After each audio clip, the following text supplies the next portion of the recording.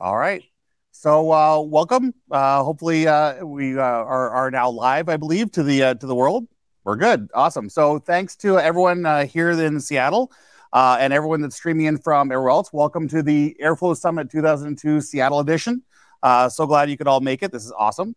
Um, we have a really great lineup of presenters. a bunch of them here live. We've got a, a, a remote presentation and a, a pre-recorded one as well. So looking forward to that. Uh, uh, great content.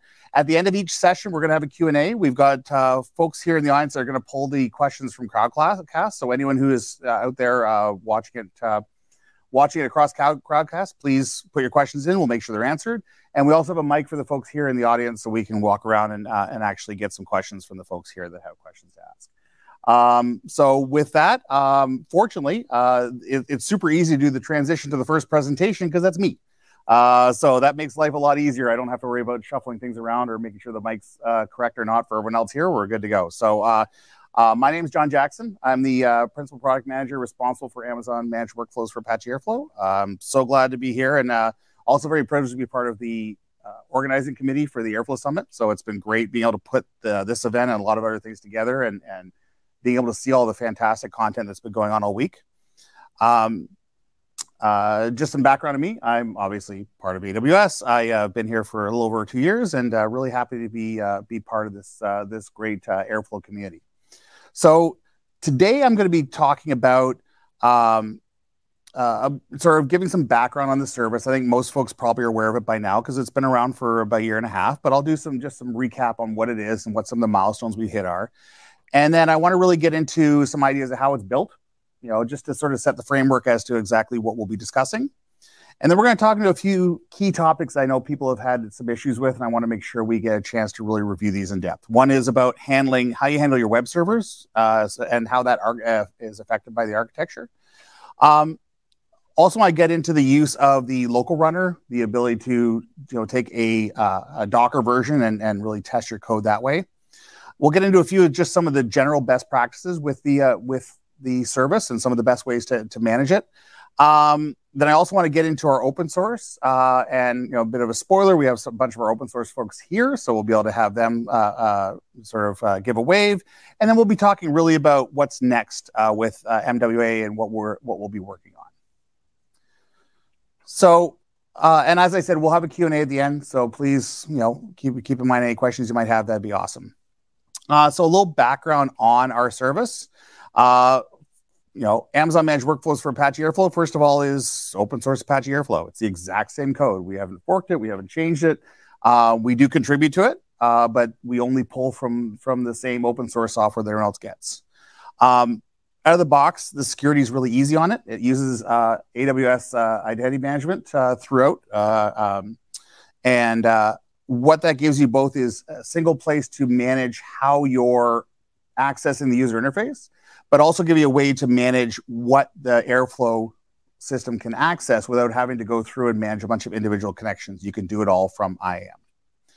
Um, and it's also out of the box is integrated. It's um, not just with IAM, but also it runs on ECS Fargate. Uh, it uses Cl Amazon CloudWatch for metrics and for logging. Uh, and of course, Amazon S3 for all the storage needs for it as well. And it's also reasonably easy to deploy. You can go to the console, you can click a few buttons, it's going to start up for you. You can use CloudFormation. We have API support, CLI support. use Terraform, whatever you'd like to do on it, uh, and uh, you're able to stand up an Airflow environment reasonably easily. So, just a little history on the service. So, we launched this in November 2020. Uh, so, as I said, it's about 18 months old, give or take. Um, in uh, May 2021, we offered uh, Airflow 2.0 for the first time. Yeah, we weren't as quick as we'd like to be, but we got it out. Uh, in August of that year, we managed to roll out uh, into an additional or a total of 15 commercial regions. And then just this past January, we added not only Airflow 2.2 support, but we also gave the ability to install requirements and plugins on the web server. Uh, and we'll be talking a little bit more about that uh, moving forward as well. So I want to dig a little bit into the architecture and how we built this because really we built this the same way that anyone could build an Airflow deployment on AWS themselves. So we're using a bunch of off the shelf AWS components to be able to make the most out of what Airflow can do. So within your customer uh, virtual private cloud, within your VPC, that's where we're running the Airflow scheduler containers and the Airflow worker containers. As I mentioned, we're using ECS Fargate. Um, the schedulers, you can have up to five of them or as, as few as two. It's, it comes with two out of the box, so it's uh, immediately high availability. And for the Airflow workers, you can e choose uh, as low a minimum as one, maximum of 25, and you can have it auto scale in between those two. We're also using a bunch of off the shelf AWS components to connect all the Airflow bits and pieces together. So these need to be accessible from your VPC as well. So uh, as I mentioned, we use CloudWatch for logging and metrics. Uh, we use S3, that's where all your DAGs and plugins and requirements uh, text lives. Uh, we use SQS as the uh, queue for the uh, for the Celery executor. The Airflow images themselves live on ECR. And if you choose a customer managed key, we're accessing using KMS for that purpose. So the reason I bring all this stuff up is because we're running the workloads on your on your VPC, all this needs to be accessible.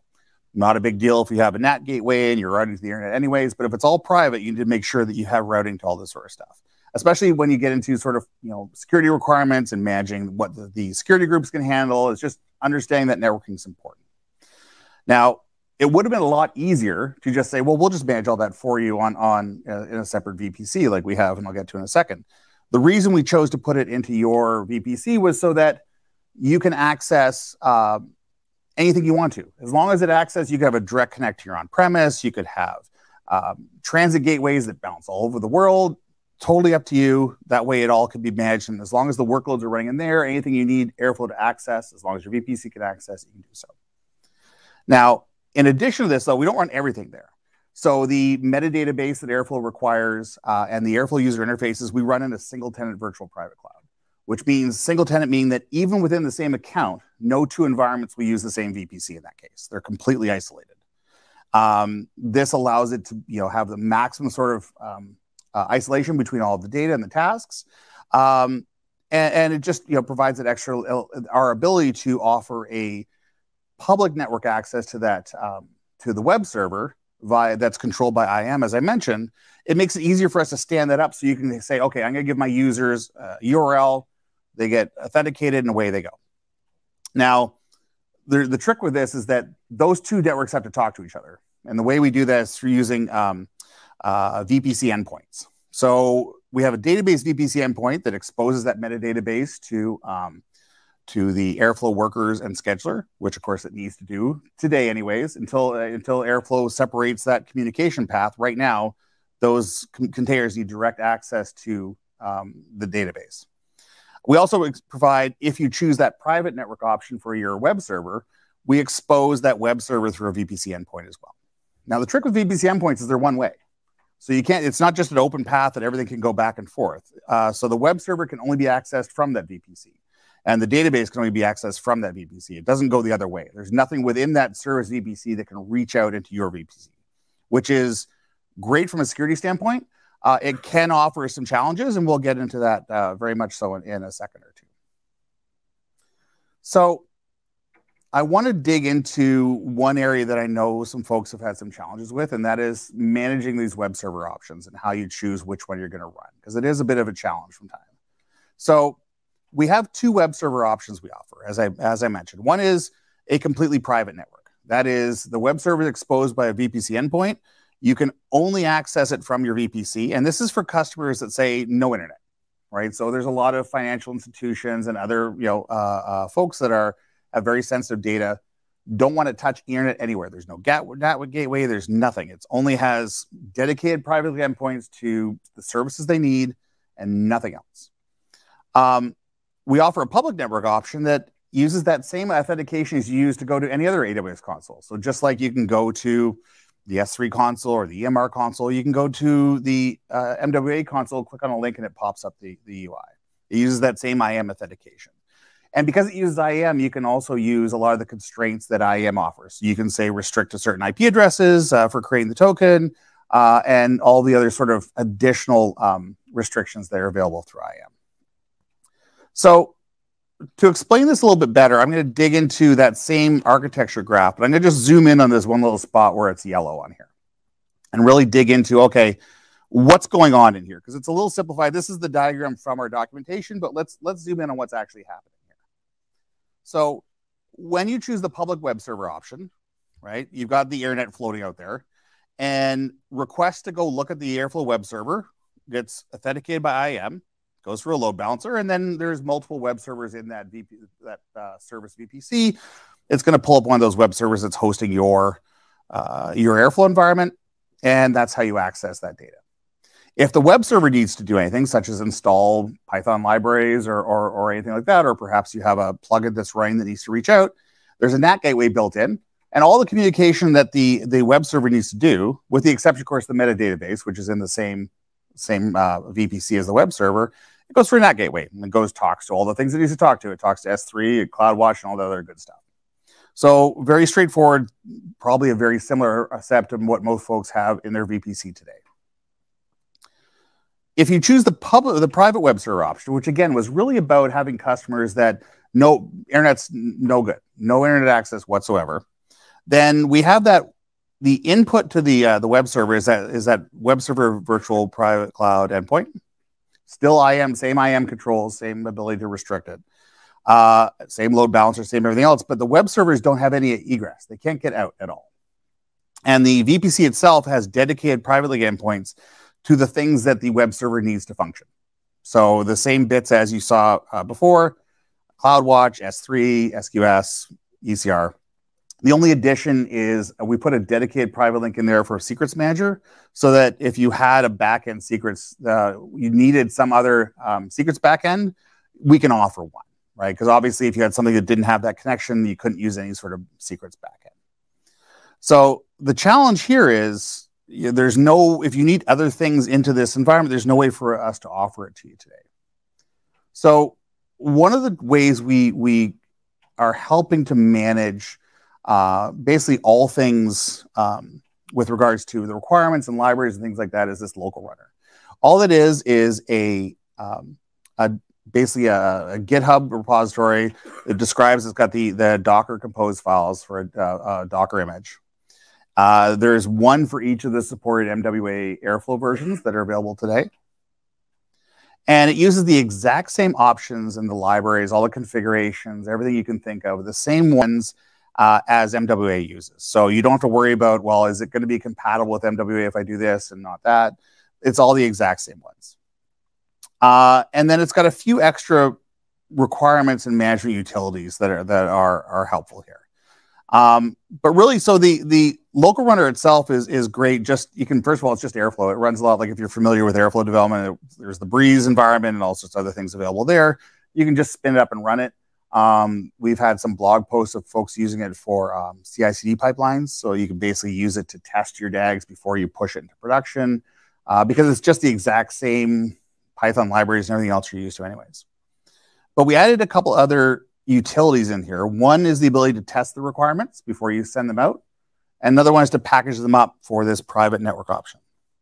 So I'm going to attempt to do a, uh, a demo that I'm not actually doing, but I did do, but I'm not doing. So I recorded myself recorded doing this. I'm going to attempt do my best to actually narrate what I've done here. So I'm running the, the same local runner. This is the 2.2.2 version. And if you just launch the local N uh, shortcut, it will give you the list of all the things you can do.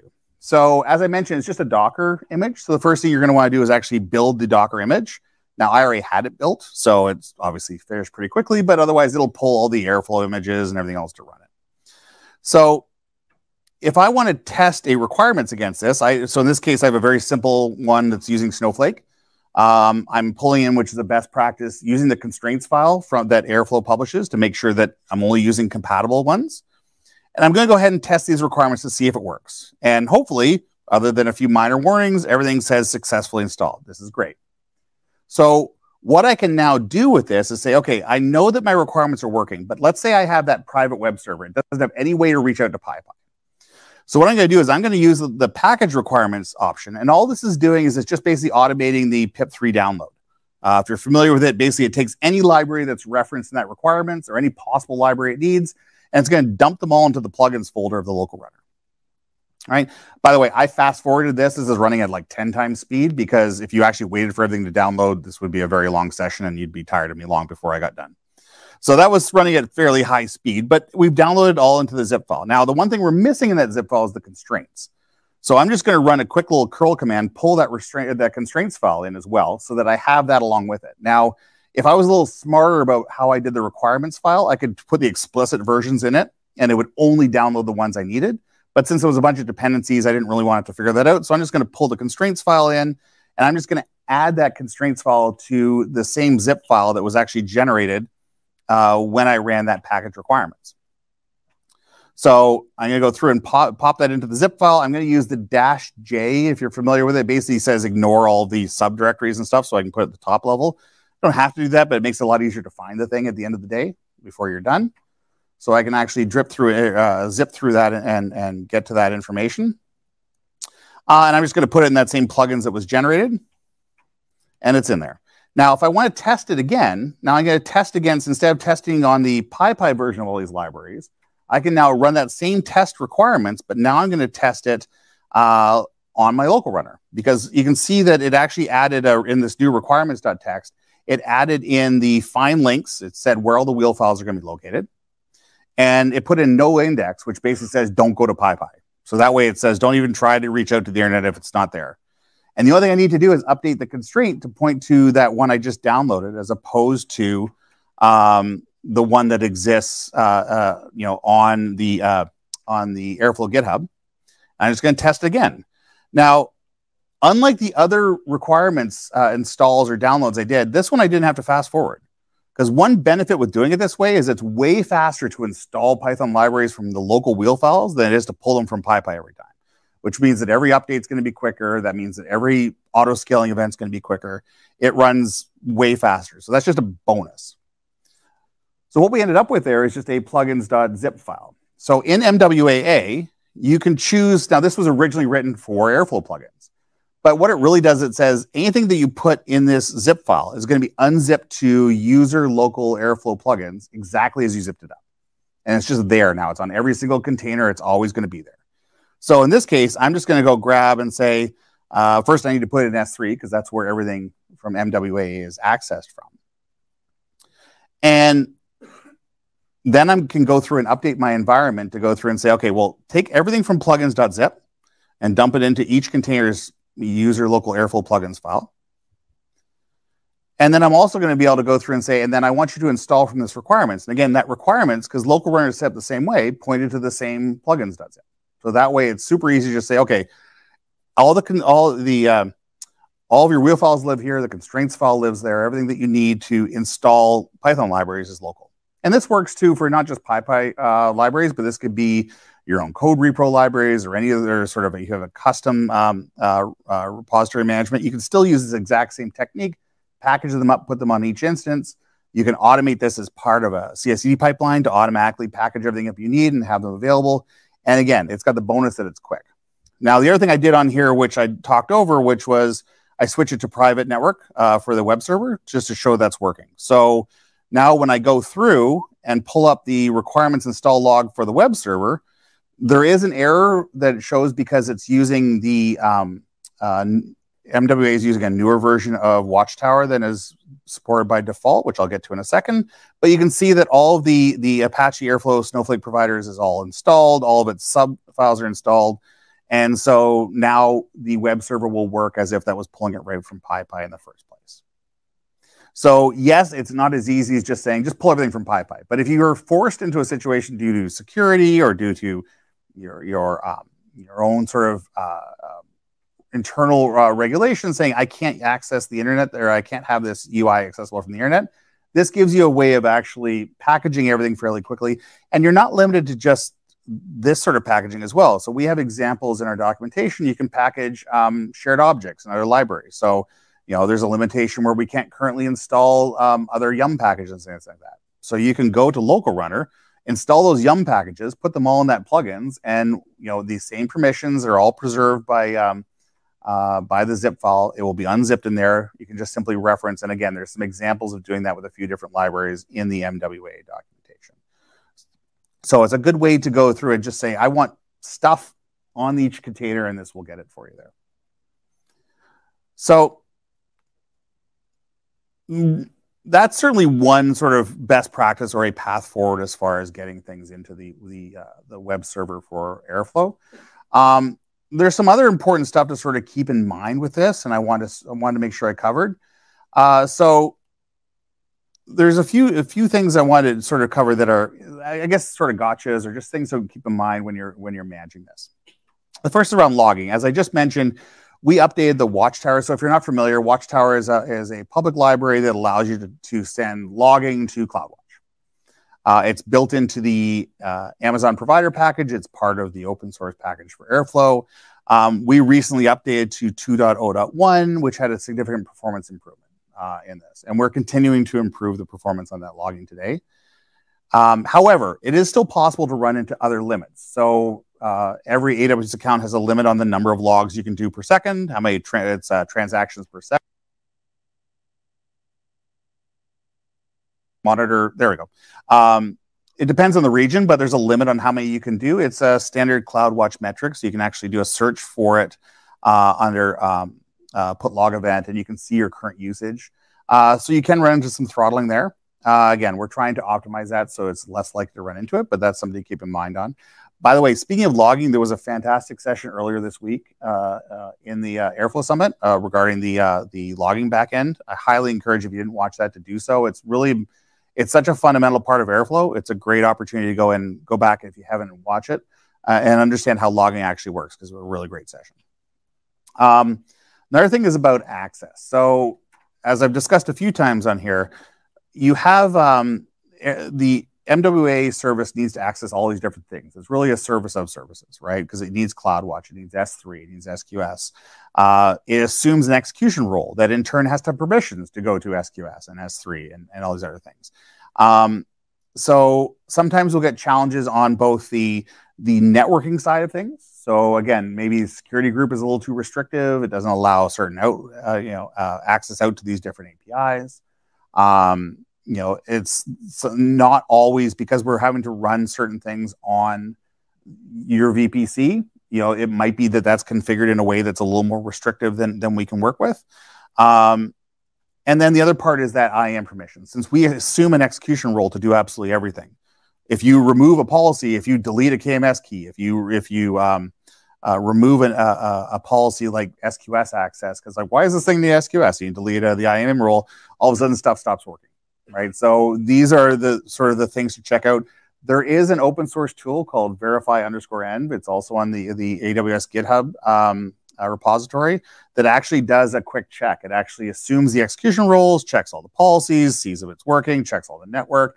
It's not foolproof. You can definitely do some things that it won't be able to pick up on, but it does a pretty good job as far as saying, okay, well, um, uh, I see that you are missing, you know, uh, ECR permissions, or I see that you're missing network access to this this uh, entity. Um, another sort of gotcha regards sort of migration. If you're going from um, you know a self-managed uh, uh um, Airflow implementation, um, a lot of times, first of all, you'll just have like like just a single EC2 or running you know local Docker images or whatever, um, and oftentimes you'll have just sort of like everything runs on one worker you have all these sort of custom runtimes, all this other stuff that you can just access at a very low level. Um, and you know what? If it starts getting a little bit too big for, uh, for to run things, I'll just throw some more memory at it. I'll just throw some more CPU at it. We are, in order to be sort of you know, somewhat serverless, we're running on ECS Fargate. We're running on these small containers. There's not unlimited uh, resources there right? And so when you're thinking about going from a single sort of image or a large, uh, large uh, instance uh, to an MWA instance, you've got to think, well, how do I, how is this going to work when I no longer am running that my, you know, a single thing on my worker, um, and I need to break it up into much of little ones. Um, also important is that because of the way we're writing the workers, especially if you have auto scaling enabled, that worker may not be there the next time you go to run it right? So it, the next task might run on a different worker, it might run on a completely different instance. Even if you only have one worker, that worker may have been recycled. Maybe it got bad, maybe it got swapped out, right? So you can't count on one task running on the same, you know, computer, if you will, as the previous tasks. And so one of the things this can can limit is uh, is like for example running a bunch of bash commands, right? The first bash command that you run as a task the second one might not run on the same instance. So if it was like first bash command was downloading something, there's a pretty good chance the second bash command may not have access to that thing. Um, now you can do a lot of great stuff with things like the Taskflow API and XComs and things like that, but of course there's limits there too. Uh, so really thinking about well, how would this, how does each task work in an atomic way? Uh, and there's some great, um, uh, again, there was great sessions this week, and there's some great documentation on how to sort of make each task relatively idempotent so it actually can run regardless of whether it, it wherever it happened to run, if the task is restarted or retried or run somewhere completely different, it'll work exactly the same way. And the last one I wanted to cover uh, is again, I put it on here full full of minutes of shameless self promotion. I, I did a session earlier this week that was about running uh, airflow at scale. Um, it uh, it was not specific to MWAA, but all the techniques there do apply. Uh, so uh, please, if you didn't get a chance to take a look at that one, go give it a look. Uh, there's some other great talks this week about running airflow at scale, uh, and they all apply, right? So really looking at how do you run efficiently when you have a lot of DAGs, a lot of tasks. They apply when you're running on sort of small uh, ECS Fargate instances, just like they apply if you're trying to run them on Docker or VMware or something else local or something self-managed, or you're running it on EC2. All the same techniques matter. It just matters as to what scale you're running at right? Or is it because no matter what you're running it on, I don't care if you have a 16 extra large EC2, there is a limit that you are going to hit, right? And so understanding how to manage those limits, how to spread out the work, how to make sure that your uh, load is being done and handled in a way that's that's effective uh, is going to go a long way, regardless of whether you're using MWA or self-managing or running anything else. It's going to be a big deal. Um, I want to take a second now and talk about our commitment to open source because that's a big part of this. We acknowledge, I said, start off in the very first slide, we're only running open source Airflow. That's all we're doing. We're not going to be changing it or modifying or doing anything else. So it's super important that Airflow is healthy and well maintained and well managed.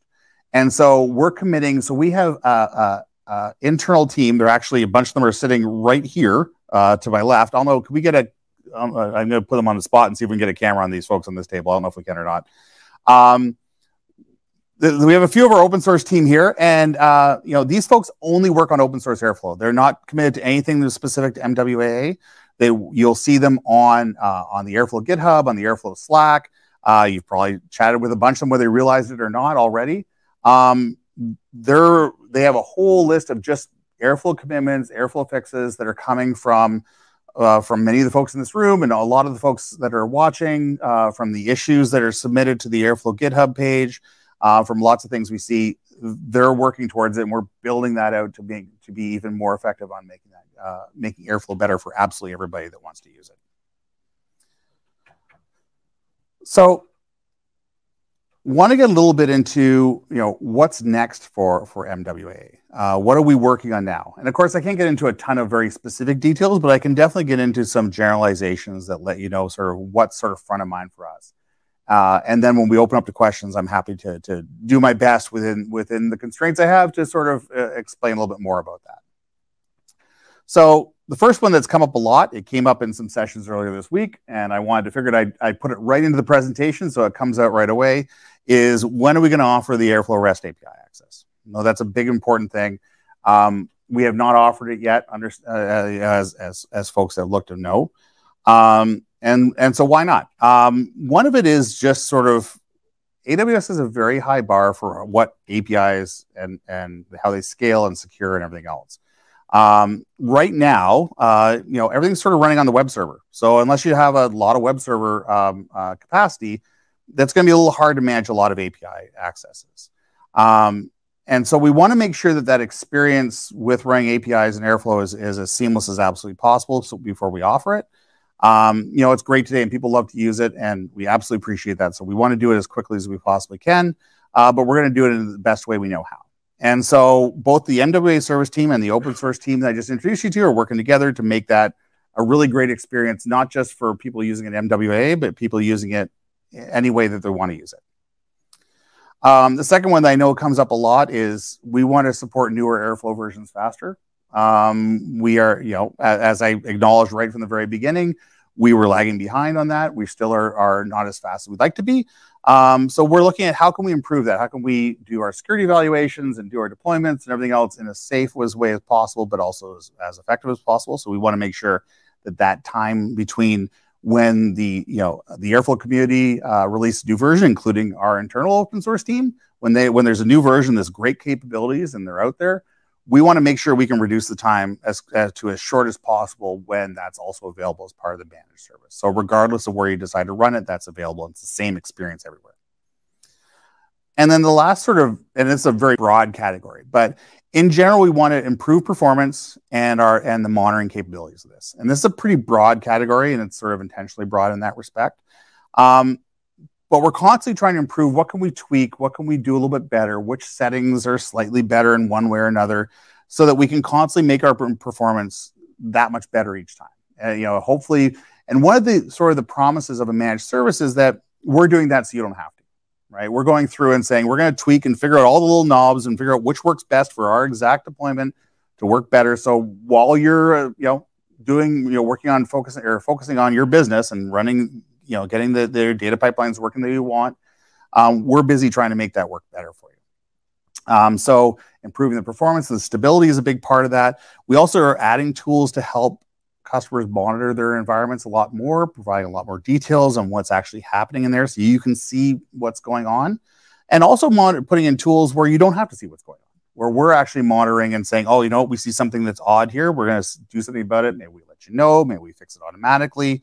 Uh, ideally, whenever possible, we're going to recover on your behalf so that you won't even know it's there. It'll just be working smoothly and, and you won't even know that there was uh, an intervention that occurred. So before I get into the questions, there's, you know, we do have some resources out there. We want to make sure that we, we have folks uh, sort of get into. Uh, first and foremost is our documentation. Uh, we publish new documents uh, every week, uh, pretty much.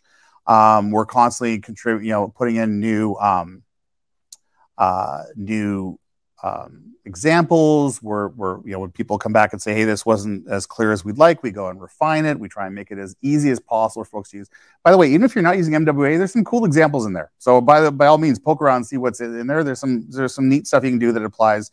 You know, one of the benefits of the way we're doing Airflow is most of the stuff we're doing applies to wherever you're having to be using it. And so this is a good way to do that. Um, you know, we have our product landing page. So when you get there, you'll see sort of the high level stuff that's going on. But within that landing page, more importantly, is there's a resources page. And that lets you actually see what are the latest blog posts. It'll automatically pull the what's new and the blog post and everything else is coming from um, uh, from our team of specialists and experts and things like that to let you know that. Um, again, highly encourage you to take a look at it, even if you're not using MWAA. It's, it's there's some great resources that explain everything from doing identity management. Mm -hmm to, uh, as I mentioned, CI/CD and a bunch of other cool stuff there as well. And then last but definitely not least is the Airflow AWS Slack channel. You know, this whole table here is on there all the time as far as, you know, answering questions. Uh, I do my best to get on there uh, and answer as much as I can as well. Um, it's a great place for folks that are using AWS with Airflow in any way, whether it's with MWAA or not. Uh, it's a great time to be able to go in, ask questions, you know, ask for suggestions. Um, you know, one of the best parts about Airflow is the community, right? And it's the idea that people can share their experiences and share their their solutions amongst each other and get better uh, aspect out of all of it. Um, so really encourage engaging with that. I'm on there. By all means, tag me on there, ask me a question. I'm happy to answer as best I can as well. So with that, I want to, um, and I was a little quicker than I intended, but I'm hoping we get some some questions out of this. Uh, we have a microphone here in the room, so we'll hopefully get some questions. Uh, I'll open it up to folks here in the room to ask questions, uh, as long as you don't mind. You know, say, we we can you can just whisper us the question if you want, but hopefully you're willing to get on the microphone and actually say something uh, to show that there's actually humans here in Seattle and, and enjoying this. So. Uh, any questions at all about MWAA or anything that I put on here, or even stuff I haven't talked about on here?